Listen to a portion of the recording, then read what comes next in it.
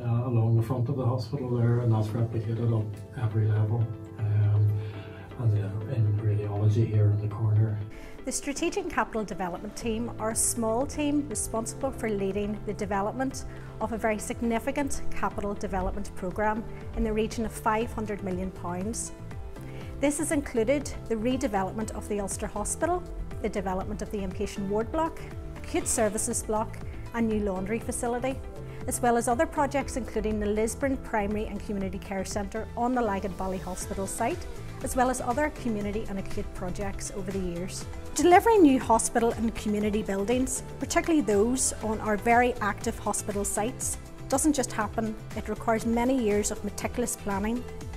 Over the years, the team has worked to identify projects that require significant capital solutions, led the development of business cases for each project and worked to secure investment within the Trust for the benefit of our patients and staff.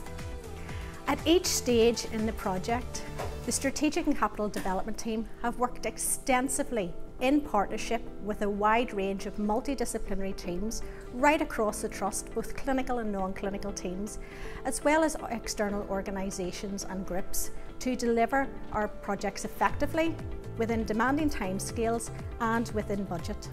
The team have been agile over the years, responding flexibly to many challenges. For example, during the COVID-19 pandemic, when the rest of the construction world was slowing to a halt, the capital team at the Ulster Hospital accelerated to deliver the acute services block ahead of schedule. This enabled the Trust to deliver the first vaccine centre for Northern Ireland to enable us to vaccinate our patients, staff and the local population. To the Strategic and Capital Development team, both past and present, who have delivered a significant capital programme over the last 20 years, facilitating service transformation and implementing new models of care, we want to say thank you.